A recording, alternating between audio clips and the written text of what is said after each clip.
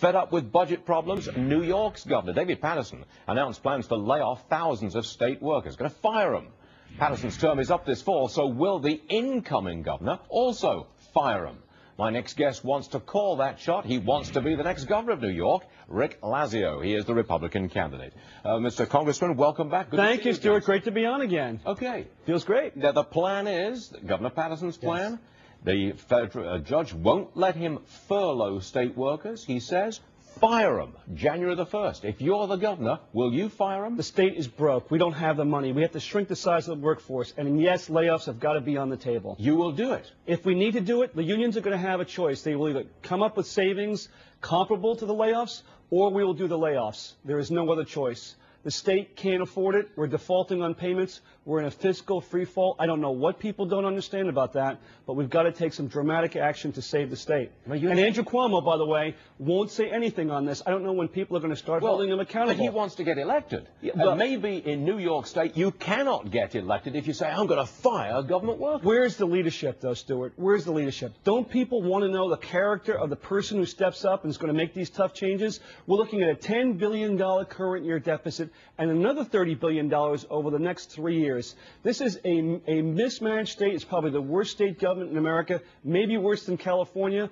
We, have got debt skyrocketing. We've got public employee salaries going through the roof. We've got pension costs that are exploding. Yep. And, and, they have the to be, and they have to be reined in. And you need to have a leader, not who's playing political games, not who's an insider like Andrew Cuomo has been in all but basically his whole, whole political life, and everything is calculated okay, for political gain. But someone's going to step up New for the people. York State, Charles. Rick, yeah, Rick. First of all, I want to tell you, since you won the official nominee, you've got that swagger. Okay? thank so you, Charles. We can feel it when you thank, walk thank in the room. Okay, Cuomo's running with uh, his running mate getting two pensions. Right. Are you going to make a big deal out of this? This guy's getting this is the this goes to the heart of the problem. I mean, earlier this week, the New York Daily News had an article about uniform uh, workers getting 190,000 a year. I think this is becoming a big issue around the country, particularly New York. Are you going to make that a big, big deal? Absolutely. This is a double dipping situation. So Andrew Cuomo comes out, he brags about how he's taking on double dipping, which is the practice of getting paid and getting a pension on top of it. And then who does he name as his running mate? Somebody who's the poster child for double double dipping, making $200,000 a year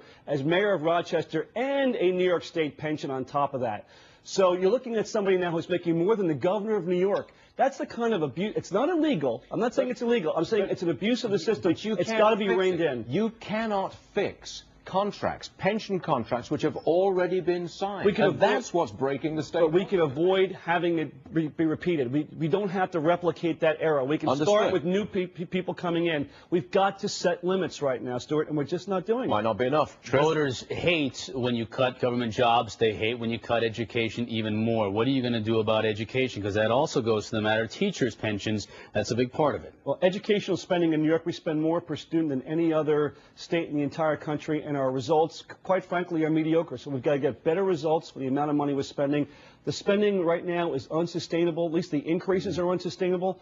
And, you know, again, if, if we want private sector yeah. job growth, if we really want to grow our state, we really want jobs, you can't continue to grow the public sector, increase taxes, increase spending, borrow, and push it all on to the next generation. Uh, you it destroys it. the incentive to grow the economy. You got it. You got it. You got it. But can you, the election in New York State, telling the voters, I am going to inflict pain. You bet. This you're going to you do bet. This? Chris Christie, Chris Christie, Christie did it. That's I think exactly Chris right. set the way for this, Stuart. We wouldn't be having this conversation if Christie didn't win. If Corzine was reelected, we would not be having. There's something going on in politics because that's exactly what European leaders are saying. That's right. You're going to take some pain now because we're up against the it's, wall. It's, a, gro it's a, growing maturity on the part, I think, of the electorate and the political class to step up and do what needs to be done. I didn't create this problem. I'm going to fix it under my watch, though. I promise you that.